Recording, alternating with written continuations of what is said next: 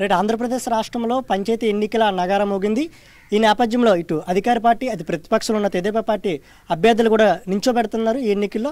అయితే ఈరోజు విశాఖపట్నం జిల్లా బుచ్చిపేట మండలం పెదబందన గ్రామం నుంచి బరిలో ఉన్నారు. తెలుగుదేశం పార్టీ బలపరిచిన స్వర్గీయ శ్రీ బేరందేవుడు గారి కోడలు అలాగే వియ్యపు అప్పారావు గారి సతీమణి. అయితే ఈరోజు ఏ విధంగా ఎన్నికల బరిలో ఉన్నారు? వారి యొక్క రాజకీయ ప్రస్థానం ఉంటే రేపు సర్పంచ్ గెలుపొందితే ఈ గ్రామాన్ని ఏ విధంగా అభివృద్ధి చేస్తారనేది అడిగి తెలుసుకునే ప్రయత్నం చేద్దాం. నమస్కారం అబ్బారావు గారు. మొదటగా మీకు మా ఛానల్ తరఫున శుభాకాంక్షలు. ఈరోజు మీ సతీమణి గారిని ఎన్నికలో నించోబెడుతున్నందుకు మొదటగా చెప్పండి అసలు మీ కుటుంబం నుంచి రాజకీయ ప్రస్థానం ఏ విధంగా మొదలైంది? ముందుగా త్రూడ్ ఛానల్ నమస్కారాలు మరి ఈ రోజున మరి స్వర్గీయ శ్రీ బేరందేవుడు గారు ఈ పెదమాని గ్రామానికి మొదటి ఎంపీడీసీగా ఉన్నారు. తర్వాత రెండు వేల ఒకటిలో నన్ను సర్పంచ్కి చేశారు. తర్వాత మా ఆవిడ్ని జడ్పీటీసీ చేశారు. తర్వాత మా మరదల్ని సర్పంచ్కి చేశారు. సుదీర్ఘకాలంగా ఈ గ్రామానికి సేవలు అందించినటువంటి బేరందేడు గారి ఆశీస్సులతో గ్రామంలో ప్రజలందరూ కూడా మా తరపు నుండి వారి ఆశీస్సులతో ఈ నేటికి కూడా కొనసాగుతున్నామంటే మేము చేసినటువంటి అభివృద్ధి కార్యక్రమాలు అందరికి కూడా సేవ చేసిన భాగ్యం దక్కించుకున్నందుకు ప్రజలు మరొకసారి మాకు పట్టం కడతారానికి సిద్ధంగా ఉన్నారని తెలియజేసుకుంటున్నాను. రేపు మీ కుటుంబం నుంచి సర్పంచ్గా సేవలు అందించారు అలాగే ఎంపీడీసీగా ఎంపీపీగా కూడా సేవలు అందించిన పరిస్థితి ఉంది. అయితే మండలాన్ని ఏ విధంగా అభివృద్ధి చేశారు? అదేవిధంగా గ్రామాన్ని ఏ విధంగా అభివృద్ధి చేశారు మీ హయాంలో?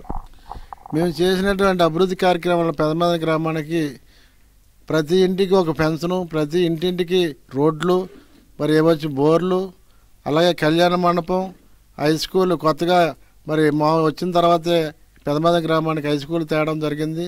ఒక రామ్ కోల్ కూడా కట్టడం జరిగింది ఆంజనేయ స్వామి కోల్ కూడా కట్టడం జరిగింది. మరి అందుకే ప్రత్యేకంగా చెప్పవలసింది ఒకటి ఈ యొక్క పాతిక సంవత్సరాల్లో కూడా మనకి సేవ చేసినటువంటి భాగ్యం రావడానికి మాకు ముందుగా గ్రామం తరపు నుంచి ఏ ఏ పండుగ వచ్చినా సరే ఓ రూపాయి సందా లేకుండా పెద్దలు స్వర్గీయ బేరందేడి గారు పెట్టినటువంటి విధానంలో పాల్గొంటూ నేటికి కూడా మరి ఎక్కడ కూడా ప్రజల నుంచి ఎక్కడ సందా వసూలు చేయకుండా పండగలు తీర్థాలు కూడా చేయడం జరుగుతుంది. వారి ప్రవేశపెట్టినటువంటి కార్యక్రమం భాగంగా. ఇంక ఇలాగే మరి వారి సేవలు అందించినటువంటి గ్రామ ప్రజలందరూ కూడా మరొకసారి మమ్మల్ని ఎన్నుకొని మమ్మల్నే మీరు గెలిపించినట్లయితే ఈ గ్రామానికి ఇప్పటి వరకు జరుగుతున్నటువంటి అభివృద్ధి కార్యక్రమాలు కూడా గత మళ్ళీ కొనసాగిస్తామని అందరికి కూడా అందుబాటులో ఉంటామని తెలియజేసుకుంటున్నాను. రేపు మరొక విషయం చెప్పండి. ఈరోజు మీరు చూసినట్టయితే తెలుగుదేశం పార్టీ ద్వారా మీరు ఎన్నికల బరిలో ఉన్నారు. పైన రాష్ట్రంలో చూసుకున్నట్టయితే వైఎస్ఆర్సీపీ ప్రభుత్వం అధికారంలో ఉంది. ఇటువంటి సమయంలో రేపు ఎన్నికల్లో మీరు గెలిస్తే ఏ విధంగా అభివృద్ధి చేస్తారు? పైన ఉన్న ప్రభుత్వం ఒకటి ఈరోజు మీరున్న అధిక పార్టీ ఒకటి. ఏ విధంగా ఈ గ్రామాన్ని అభివృద్ధి చేయగలరు? ఏ విధంగా నిధులు తేగలరు?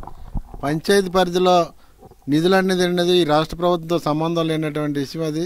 కేంద్ర ప్రభుత్వం ఇచ్చినటువంటి నిధులతో ఈ యొక్క పంచాయతీని అభివృద్ధి చేయడానికి మేము అందరం కూడా వార్డు మెంబర్లు అయితే పెద్దలు అయితే అందరం కూడా ఆ నిధులతో ఏ వార్డులు ఏం చేయడానికి కూడా ఉన్నాం. ప్రభుత్వంతో సంబంధం లేకుండా నిధులు మాకు వస్తాయి కాబట్టి కేంద్ర ప్రభుత్వం నుంచి ఆ నిధులతో గ్రామ పంచాయతీలో ఏడేడు చేయాలి ఇంటింటి కుళాయి కూడా సమస్య ఉంది. ఆ సమస్యను కూడా మరి రేపు గెలిచిన వెంటనే కూడా ఇంటింటి కుళాయి వేయడానికి పంచాయతీ నిధుల నుంచి మనం చేయడానికి సిద్ధంగా ఉన్నాం కాబట్టి ఈ యొక్క ప్రభుత్వం ప్రస్తుత పరిస్థితుల్లో మరి ప్రజలకు కూడా ఇబ్బంది పెట్టినటువంటి పరిస్థితి. ఈరోజు ఎల్సన్ కమిషనర్తో కూడా మరి గొడవలు పడి కోర్టు ద్వారా జరిపించుకున్నటువంటి ఎన్నికలు మరి ఎంత మరి విమర్శలు పాలవుతుంది ఈ ప్రభుత్వం అందరికీ తెలుసును. కాబట్టి ఈ యొక్క రాష్ట్ర ప్రభుత్వం జగన్ గారి వ- మొండి వైఖరితో ప్రజలు చాలా ఇబ్బంది పడుతున్నారు కాబట్టి ఇప్పుడు ప్రస్తుత పరిస్థితుల్లో తెలుగుదేశం పార్టీకి అనుకూలంగా ఉన్నటువంటి ప్రజలందరూ కూడా తెలుగుదేశం పార్టీకి పట్టం కడతారని మరొకసారి ఆశిస్తూ మాకు ఈ ప్రజలు తరపున మద్దతు బాగుంది కాబట్టి ప్రభుత్వం చేసినటువంటి అవర అరాచకాల వల్ల ప్రజలందరూ తీసుకుపోయి ఈ రెండు సంవత్సరాల కాలంలో కూడా ప్రజలు ఎంతో ఇబ్బంది పడుతున్నారు. ముఖ్యంగా ఈ యొక్క ఇసుక శానిటైజేషన్లో నిజమే మరి మద్యపానం నిషేధాలు అయితేనేమి ఇవన్నీ కూడా కొన్ని సుదీర్ఘ మరి పనులకి ప్రజలకి ఇబ్బంది లేకుండా చేయవలసిన పరిస్థితి ఉండవలసిన పరిస్థితి ఉన్నటువంటి ప్రభుత్వం ఈరోజు అందరి పక్షాన కూడా వ్యతిరేకత ఉంది. ముఖ్యంగా ఈ భవన కార్మికుల పరిస్థితి అయితే చాలా ఇబ్బందిగా ఉన్నటువంటి పరిస్థితి. అసలు శాండ దొరక్క ఇక్కడ కూలి పని దొరక్క చాలా ఇబ్బంది పడుతున్నారు ఈ ప్రభుత్వం. కాబట్టి ప్రజలు అందరిలో వ్యతిరేకత ఉంది. దీన్ని మా ప్రజలందరూ కూడా గ్రామ ప్రజలందరూ కూడా గ్రహించి ఉన్నారు.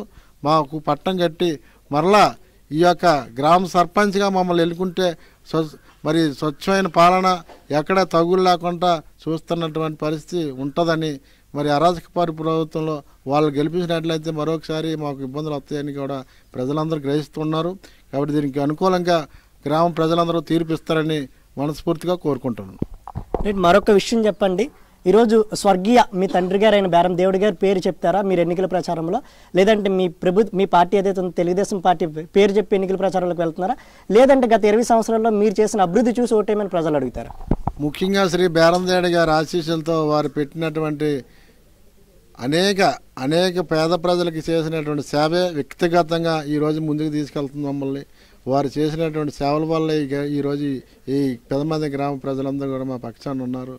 వారికి మనస్ఫూర్తిగా గ్రామ ప్రజలందరూ కూడా మరి ఆయన పేరు చెప్పేసరికి ఆయన వెనకాల మేము ఉంటాం. ఆయన చేసిన పనులు మాకు ఉన్నాయి పేదలందరూ కూడా ఎన్నో సంక్షేమ కార్యక్రమాలు చేసినటువంటి పెళ్ళిళ్ళు అయినా ఇల్లు అయినా ఇల్లు కట్టుకున్న ప్రతి ఒక్కరు కూడా ఆయన సహాయ సహకారాలు అందించినటువంటి ప్రజలు ఉన్నారు కాబట్టి వ్యక్తిగతంగా బేరందేడ గారి ఇమేజ్ వల్ల ఈరోజు మనం గ్రామ సర్పంచ్గా గెలవబోతున్నాం. సార్ మరొక విషయం చెప్పండి. ఈరోజు మీ పెద్దమదన గ్రామం చూసుకున్నట్టయితే సుమారు పది వార్డులు ఉన్నాయి పద్దెనిమిది వందల పైచీలకు ఓటింగ్ కూడా ఉంది. అయితే ఏదైతే ఇటు కాపు సామాజిక వర్గం అటు యాదవ సామాజిక వర్గం ఓటింగ్ కూడా ఓ మొత్తం గెలుపోట్లను కూడా ప్రభావితం చేసే అవకాశం ఉంది. ఈ నేపథ్యంలో యాదవ సామాజిక వర్గానికి చెందిన మీకు ఇటు కాపు సామాజిక వర్గం నుంచి ఓటింగ్ ఏ విధంగా వస్తుంది అంటున్నారు? వాళ్ళు ఏ విధంగా మీరు ఓట్లు అడిగే పరిస్థితి ఉంది? ఈ రోజున మా గ్రామంలో వాళ్ళు వైసీపీ వాళ్ళు మరి కుల రాజకీయాలు చేసినప్పుడు కూడా మాకు గత ఇరవై సంవత్సరాల నుంచి కుల రాజకీయాలు లేకుండా గ్రామాన్ని ఏకదాటిగా అన్ని కులాలను కూడా ఒక తాటి మీద తెచ్చి పరిపాలించినటువంటి నాయకత్వం అది. ఈ రోజున మంచికి పట్టం కడతారో తప్ప కులాలకు అతీతంగా ఈ రోజున మాకు సేవ చేసినటువంటి భాగ్యం ఉంది కాబట్టి ప్రజలు ఆలోచించి ఓటేస్తారని మనస్ఫూర్తిగా కోరుచుకుంటాం రైట్ మీ ప్రత్యర్థులు చేస్తున్న ప్రధానమైన ఒక విమర్శ కూడా ఉంది. గత ఇరవై సంవత్సరాలుగా మీరు రాజకీయాలు చేశారు. అయితే ఇప్పుడు మేము రాజకీయాల్లోకి వస్తూ ఉన్నాం. మాకు ఒక అవకాశం అండి మా ప్రభుత్వం అధికారంలో ఉంది.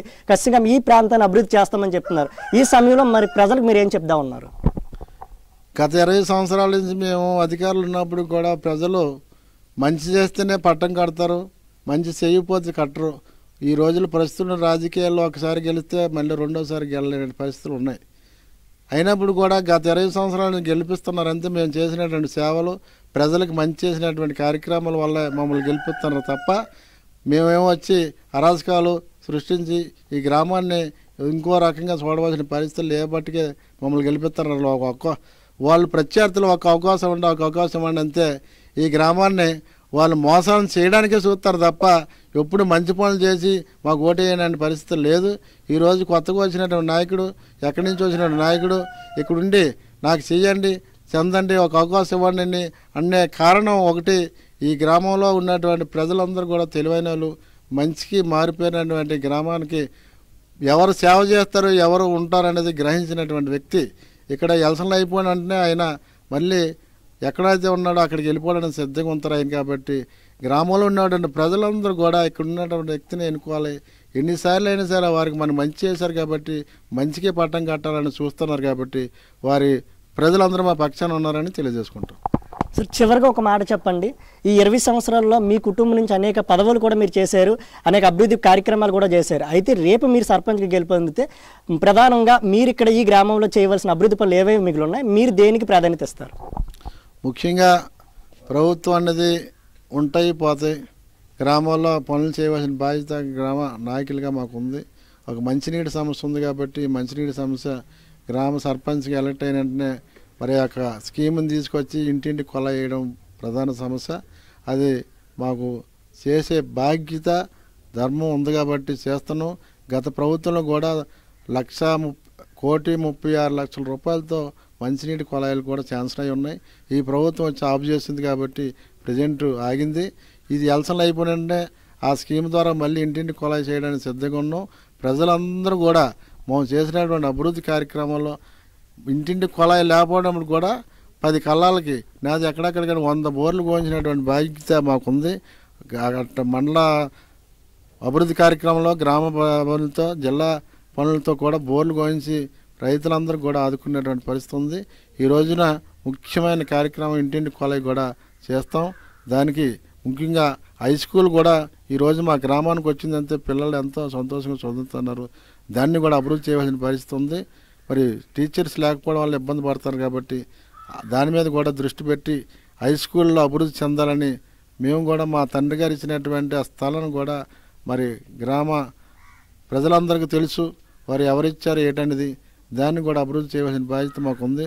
ముఖ్యంగా మా గ్రామ శివారు ఉప్పరగూడెం కూడా వారి కుర్రాళ్ళందరూ కూడా వచ్చి ఈ గ్రామానికి మరి ఇల్లులు కట్టుకొని ఇక్కడ ఉంటామని అనేది కూడా మొన్న కమిటీ వేసుకొని చెప్పడం జరిగింది.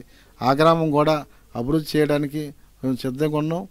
తప్పకుండా ఈ గ్రామానికి ఏటేటి కావాలో అన్నీ కూడా చేస్తామని మీ ద్వారా మా గ్రామ ప్రజలకి హామీ ఇస్తున్నాం. రైట్ చెప్పండి మేడం. సుదీర్ఘ రాజకీయ అనుభవం కలిగిన ఒక రాజకీయ కుటుంబం నుంచి మీరు ఈరోజు ఎన్నికల బరిలో నిలుస్తూ ఉన్నారు. అయితే ఈరోజు పెద్దమదన గ్రామంలో పోటీ సర్పంచ్ అభ్యర్థిగా పోటీ చేస్తూ ఉన్నారు. ఈ సమయంలో అటు ఓటర్లకు ఏం చెప్దాం అనుకుంటున్నారు? ట్రూత్ న్యూస్ ఛానల్ ద్వారా. నేను గెలిస్తే నన్ను ఈ ప్రజలందరూ ఎన్నుకున్నారు. నేను నన్నే ఉండాలని కోరుకున్నారు. వీళ్ళందరూ ఓట్లు కత్తిరుగుతూ మీద ఓటేసి నన్ను గెలిపిస్తే ఈ గ్రామానికి ఏవైతే అవసరం ఉంటాయో అవన్నీ నేను సమకూరుస్తానని చెప్తాను రైట్ సుదీర్ఘ రాజకీయ అనుభవం కలిగిన కుటుంబం తమదని అందరికి కులాలకి మతాలకి ప్రాంతాలకి అతీతంగా ఇక్కడ అభివృద్ధి చేసి గత ఇరవై సంవత్సరాలుగా ఒక సాధారణ కుగ్రామాన్ని పెదమదిని అభివృద్ధి కార్యక్రమాల్లో జిల్లా స్థాయిలో అనేక విధాలుగా మొదటి స్థాయిలో నిలబెట్టామని అధికారం ఉన్నా లేకపోయినా అభివృద్ధి తమ పరమావధి అని చెప్తున్నారు. వియ్యపు అప్పారు దంపతులు. ఇది ఇక్కడ పరిస్థితి.